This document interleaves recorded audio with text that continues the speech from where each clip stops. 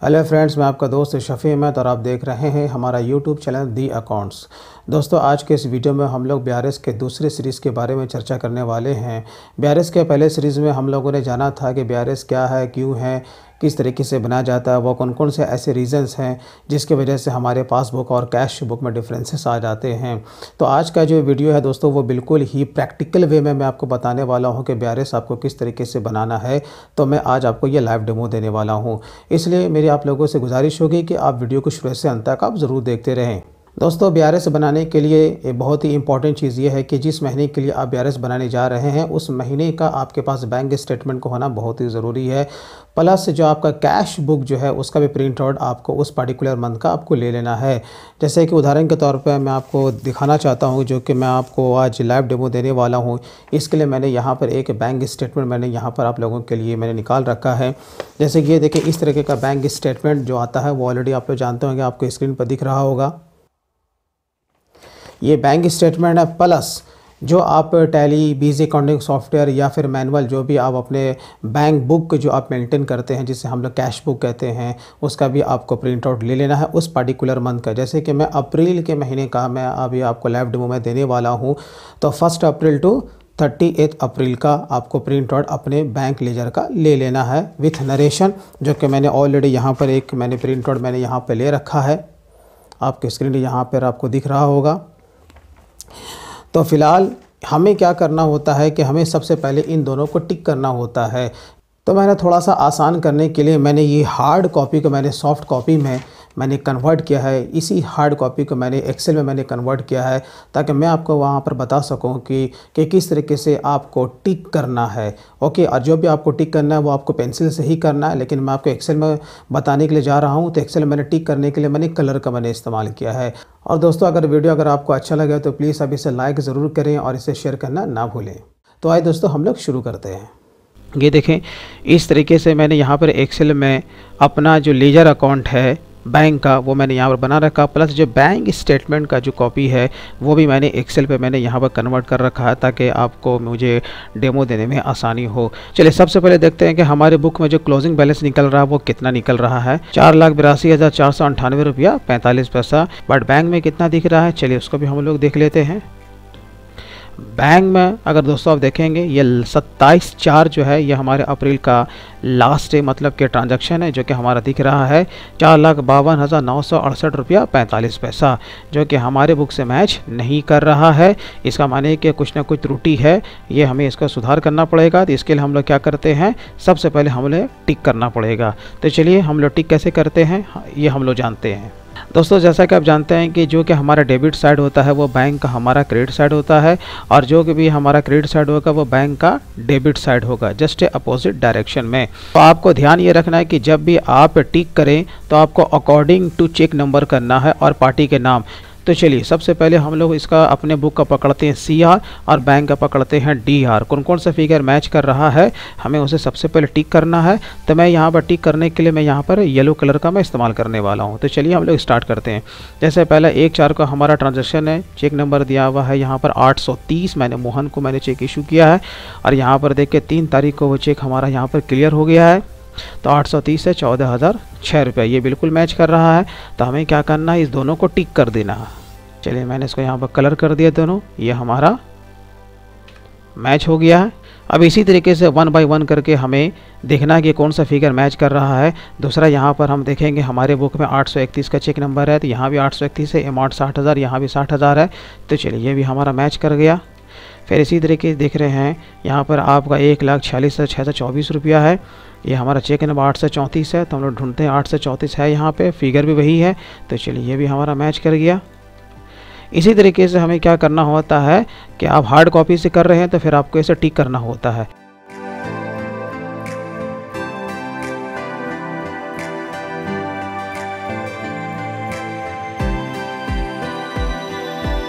तो इस तरीके से हमें पूरे को टिक कर लेना। अब जो नहीं मिलेगा, हमें क्या करना, उसे राउंड कर लेना है।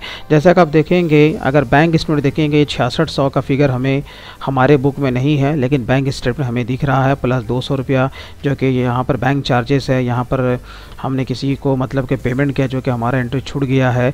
ये दो यहाँ पर नहीं मिल रहा है तो ये हमारा बिहार आइटम बन गया। ये हमने यहाँ पर इसे ब्लू कलर दे दिया। यहाँ पर तीन सौ छियालीस रुपया है। ये भी हमारा नहीं मिला है। ये हमारा बी आइटम बन गया।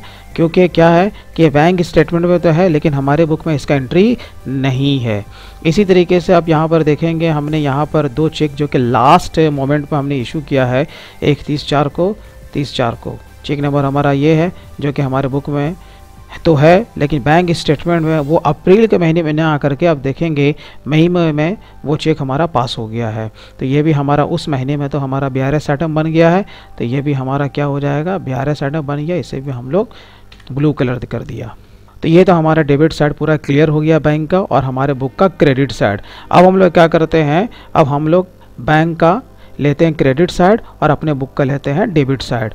तो हमें क्या करना है? सबसे पहला जो ट्रांजेक्शन हमें यहाँ पर दिख रहा है, वो चौदह लाख का है ग्यारह चार को। तो हम देखते हैं कि हमारा यहाँ पर कितने तारीख को यहाँ पर वो क्रेडिट हुआ है। यहाँ पर देखिए, ग्यारह तारीख को आरटीजीएस के थ्रू यहाँ पर ये यह हमारा क्रेडिट हो गया है। तो ये भी हमारा मैच कर रहा है। तो हम क्या करेंगे? इसे टिक कर देंगे। चलिए, ये मैच कर गया। और दूसरा एक है हमारा एक लाख पच्चीस हज़ार तीन सौ साठ का हमें पेमेंट आया है। तो देखें, ये हमारा यहाँ पर है भी या नहीं? नहीं, वो हमारा इस मंथ पे नहीं दिख रहा है। इसका माने ये भी हमारा एक ब्यारस आइटम बन गया। आप अगर देखेंगे, मई के महीने में वो हमारा तीन पाँच को ये हमारा चेक यहाँ पर क्रेडिट हो रहा है। चेक नंबर देखिए, पाँच सौ चौंसठ और यहाँ भी हमारा है पाँच सौ चौंसठ। ओके तो ये भी हमारा अप्रैल के महीने में तो हमारे बुक में आ गया है, लेकिन बैंक बुक में वो हमें यहाँ पर नहीं दिख रहा। वो कहाँ दिख रहा है आपको? मई के महीने में। इसका मान ये भी हमारा बी आर एस आइटम बन गया है। तो चलिए, इसे भी हम लोग ब्लू कलर कर देते हैं। बी आर मैंने ऑलरेडी यहाँ पर मैंने बना रखा है ताकि मैं टाइम का मैं बचत में कर सकूँ आप लोगों के लिए। अब देखें, यहाँ पर मेरा ऑलरेडी बी आर एस यहाँ बना हुआ बट ये बना कैसे है, ये मैं आपको बता देता हूँ।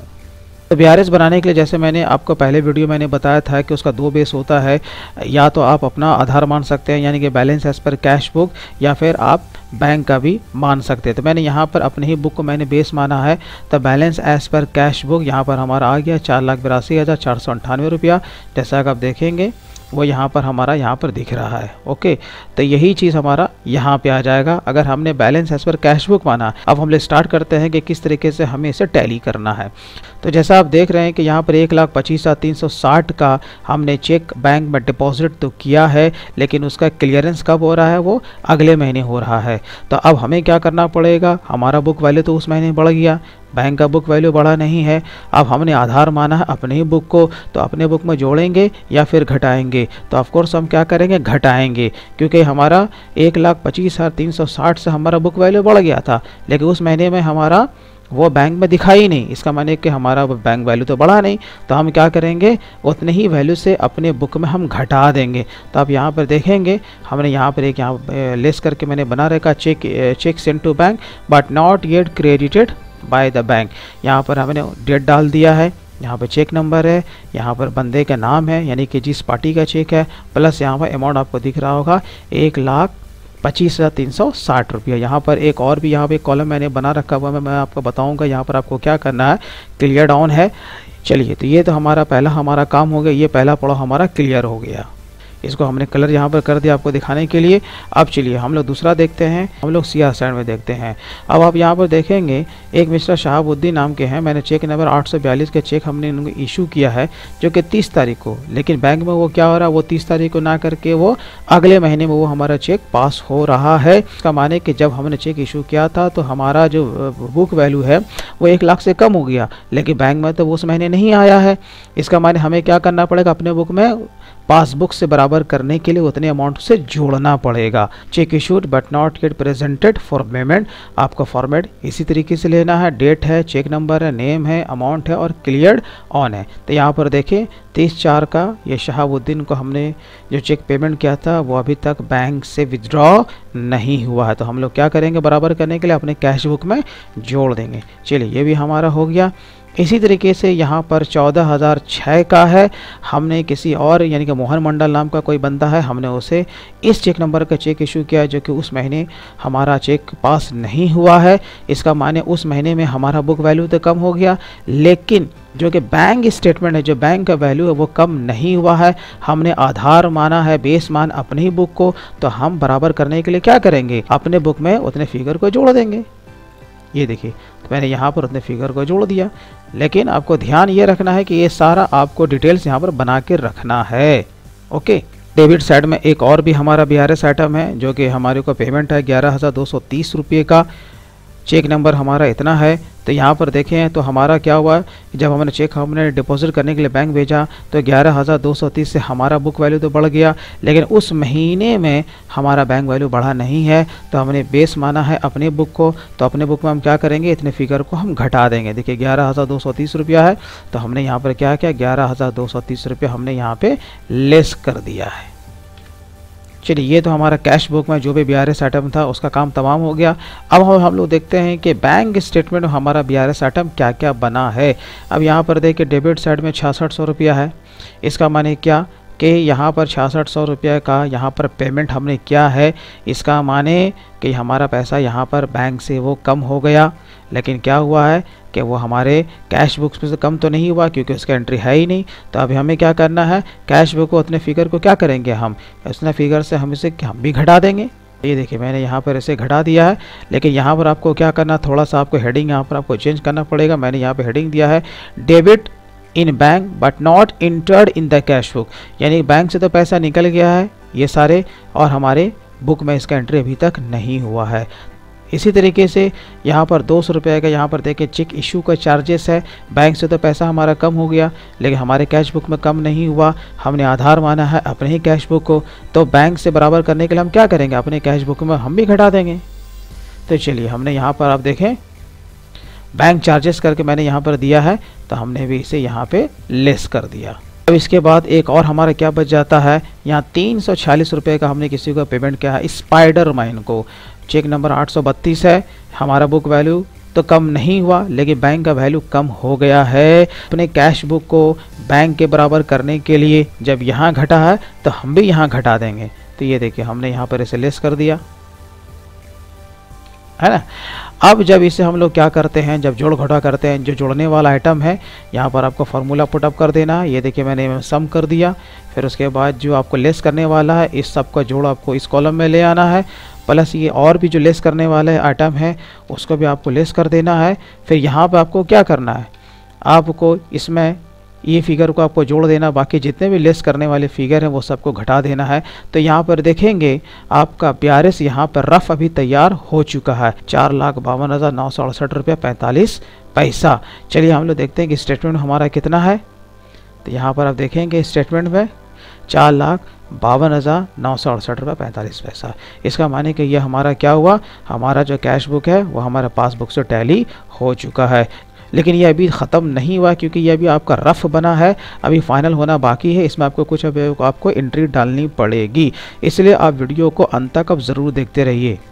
चलिए, अब हम लोग यहाँ पर देखते हैं कि यहाँ पर कौन कौन से ऐसे आइटम हैं जिसका कि हमारे बुक में एंट्री नहीं है उस महीने में तो आपको क्या करना पड़ेगा? एंट्री पास करना पड़ेगा। पहले पर अगर आप गौर करें cheque issue but not yet presented for payment इसका माने कि चेक इशू हो चुका है, इसका माने हमारे बुक में ये एंट्री तो है बैंक में नहीं है। दूसरा क्या? Cheque sent to bank but not yet credit by the bank इसका मान ये भी हमारे बुक में एंट्री है बैंक में नहीं है। ओके और उसके बाद ये वाला अगर आप देखें debit in the bank but not entered in the cash book.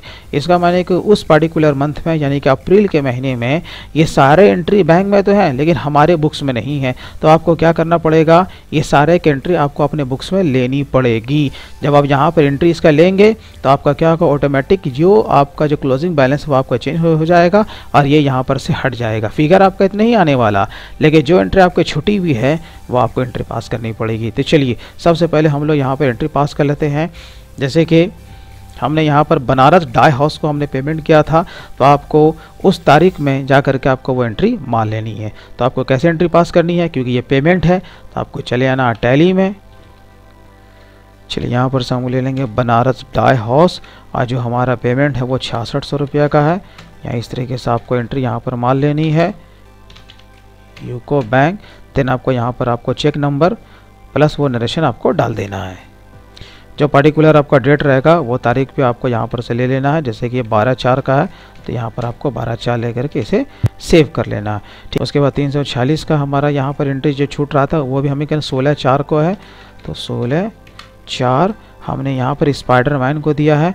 तो तो हम लोग पार्टी ले लेंगे यहाँ पर स्पाइडर मैन तीन सौ छियालीस। यहाँ पर ले लेंगे बैंक। और एक लास्ट हमारा एंट्री बच जाता है, वो दो सौ रुपये का बैंक चार्जेस है, जो कि मैंने डेट यहाँ पर मेंशन नहीं किया है। तो जो डेट रहेगा, उस तारीख को वो आपको एंट्री यहाँ पर ले लेनी है। आपको यहाँ पर क्या करना है बैंक चार्जेस ले लेना है। अमाउंट था आपका दो सौ रुपया देन यहाँ पर आपको लेना बैंक क्रेडिट हो गया। और यहाँ पर लिख देना है सिर्फ़ बैंक चार्जेस अब आपको क्या करना है आप यहाँ पर देखेंगे जो जो आपके बुक्स में एंट्री नहीं थी, हमने ऑलरेडी यहाँ पर एंट्री पास कर दिया है। तो ये आपको क्या करना है? यहाँ पर से इसे हटा देना है, क्योंकि इसकी एंट्री अब हमारे बुक में आ चुकी है। अब आपको क्या करना है? फिर से आपको वो टैली में जा करके फाइनली देखना है कि अब आपका क्लोजिंग बैलेंस कितना निकल रहा है। आपको जो display accounts book ledger then आपको बैंक यहाँ पर सेलेक्ट कर लेना आपको पीरियड ले लेना है, एक चार से तीस चार। अब यहाँ पर अगर आप देखेंगे जो कि अब हमारा क्लोजिंग बैलेंस निकल रहा है चार लाख पचहत्तर हज़ार पाँच सौ बावन रुपये पैंतालीस पैसा। अब हमें क्या करना है? अगेन वहाँ पर इसे इसे जा कर के चेंज कर लेना है। यहाँ पर आपको इसको डाल देना है चार पचहत्तर पाँच सौ बावन पैंतालीस। तो आप देखेंगे आपका जितना कि बैलेंस एज पर पासबुक जो पहले आ रहा था, वही अब भी आ रहा है। क्यों? क्योंकि हमने जो एंट्री डाला, उसका इफ़ेक्ट हमारा क्लोजिंग बैलेंस पर पड़ गया और यहाँ से वो जो आइटम जो कि हमारे पास उसका जो कि हमारे बुक में उसकी एंट्री नहीं थी, वो एंट्री भी आ गई। तो फाइनली हमारा बी ये बन चुका है। अब आपको क्या करना है? जब आप मई के महीने के जब आप जब बनाओगे तो जो जो आपका चेक जो इशू हुआ है, जो कि पास कब हो रहा है, वो आपको वहाँ पर से आपको बैंक स्टेटमेंट से आपको वो टिक करना पड़ेगा। जैसे जैसे यहाँ पर जो पहला वाला है, आपने तीस चार को दो चेक इशू किया था, आठ सौ बयालीस, आठ सौ छियालीस, एक लाख का और चौदह हज़ार छः का। तो आप जब मही का जब बनाओगे ना, वहाँ पर आपको ये डेट डालना है कि आखिर ये चेक किस तारीख को आपका पास हुआ है।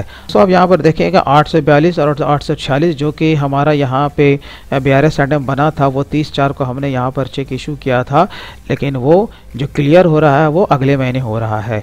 है ना? एक लाख और चौदह हज़ार छः। चेक नंबर आठ सौ बयालीस और आठ सौ छियालीस। तब देखेंगे आठ सौ बयालीस, आठ सौ छियालीस वो दो और एक चेक जो हमारा तीन तारीख को वो चेक क्लियर हो रहा है। तो ये दोनों हमारा यहाँ से क्या हो जाएगा? उस महीने में ये यहाँ पर से टिक हो जाएगा। ये हमारा यहाँ पर वो टिक हो गया। तो ये जो तारीख जो है, दो और तीन, वो आपको यहाँ पर मेंशन कर देना है। अब उसके बाद आपको क्या करना है? ये वाला जो है, जो आपने चेक आपको जमा करने के लिए भेजा था, लेकिन वो अभी तक चेक डिपॉजिट नहीं हुआ था। कब आपका डिपॉजिट हो रहा है? एक लाख पच्चीस तीन सौ साठ और ग्यारह हज़ार दो सौ तीस। चलिए स्टेटमेंट हम लोग देखते हैं। ये देखिए, एक लाख पच्चीस हज़ार तीन सौ साठ और ग्यारह हज़ार दो सौ तीस। चेक नंबर आपका यहाँ पर दिया हुआ है। इसका माने ये जो हमारा चेक जो पास हो रहा है, वो अगले महीने। तो चलिए ये भी हमें इसको क्या करना है? जब आप मई का बनाएँगे तो ये आपका यहाँ पर से टिक हो जाएगा। अगर ये आपका छूट गया तो फिर आपका बी मैच नहीं करेगा। ओके इसलिए टिक बहुत ही इंपॉर्टेंट चीज़ होता है। तो चलिए, वहाँ पर हमें क्या करना है? वहाँ पर सिर्फ़ डेट हमें मेंशन कर देना है। पुराने वाला जो आपने बी बना के रखा है तो तीन पाँच तीन पाँच। तीन पाँच को यह हमारा चेक क्लियर हो गया है। तो ये देखिए आपका अप्रैल का महीने का बिल्कुल ही बिल्कुल ही प्रैक्टिकल वे में आपका बी बन के तैयार हो चुका है। अब जैसे कि आप मई के महीने का जब आप बनाओगे तो आपको क्या करना है? एक नया शीट आपको क्रिएट कर लेना है। जैसे कि आप, मैंने यहाँ पर एक नया शीट मैंने क्रिएट कर लिया। आपको यहाँ पर मंथ डाल देना है, मई अट्ठारह। और फिर जो जो आपका, जो यहाँ पर बी आर आइटम अब नहीं बचा, क्योंकि आपका चेक आपका क्लियर हो चुका है तो ये यहाँ पर से आपका हट जाएगा और ये भी आपका हट जाएगा। ओके और जो मई के महीने का, जो भी आपका बुक का क्लोजिंग बैलेंस होगा, वो यहाँ पर आपको मेंशन कर देना है। ठीक उसी तरीके से, जिस तरीके से आपने अप्रैल का बनाया है, फिर उसी तरीके से आपको मई का भी बी बना लेना है। तो दोस्तों, मैं उम्मीद करता हूँ कि आपने बिल्कुल ही प्रैक्टिकल वे में बी बनाना सीख लिया होगा। अगर इसके बावजूद भी अगर कहीं पर आपको कोई डाउट हो तो आप कमेंट में आप ज़रूर लिखें। वीडियो अच्छा लगा हो तो मेरे भाई, आप इसे कम से कम लाइक ज़रूर करें। और अभी तक आपने हमारे चैनल को सब्सक्राइब नहीं किया तो प्लीज़ आप इसे सब्सक्राइब ज़रूर कर लें। तो दोस्तों, फिर मिलते हैं किसी दिन नए टॉपिक के साथ। तब तक के लिए take care and bye bye